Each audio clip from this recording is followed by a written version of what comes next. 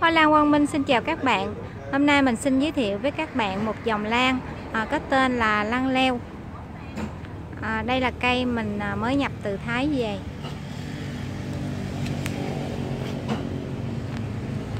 Hoa của nó rất là nhỏ.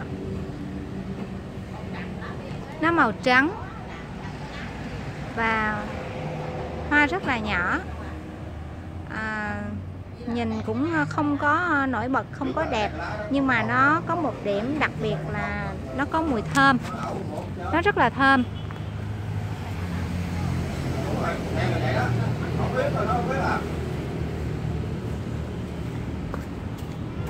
Mùi thơm của nó rất là ngọt.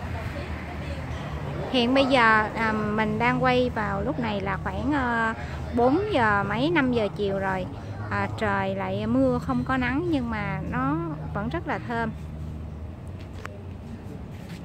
Cây của nó thì nhỏ thôi không có cao. Lăng leo thì cây nó cũng vừa thôi không có cao lắm.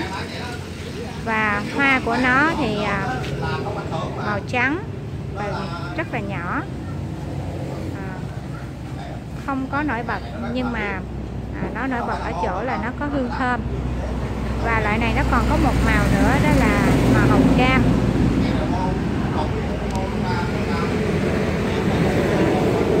giá thành thì tùy theo giò từ hai trăm rưỡi cho đến 300 ngàn một giò